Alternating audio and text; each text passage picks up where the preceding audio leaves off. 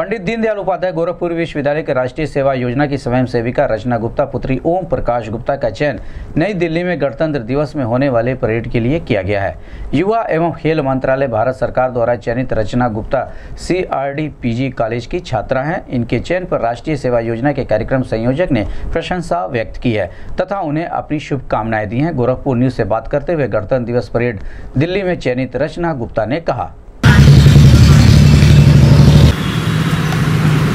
विश्वविद्यालय गोरखपुर राष्ट्रीय सेवा योजना की स्वयं सेविका रचना गुप्ता, जो चंद्रकांति रमावती की छात्रा हैं, इनको युवा एवं खेल मंत्रालय, भारत सरकार ने आरडी परेड के लिए रिपब्लिकन रिपब्लिक डे परेड के लिए इनको जो है सेलेक्ट किया है और इस पर जो है पूरा विश्वविद्यालय परिवार, राष्ट्रीय सेवा योजना परिवार तथा मैं स्वयं इनको जो है बहुत बहुत बधाई देते हैं तथा इनके शुभकाम इन, इनके उज्जवल भविष्य की शुभकामना करते हैं। अर्चना गुप्ता।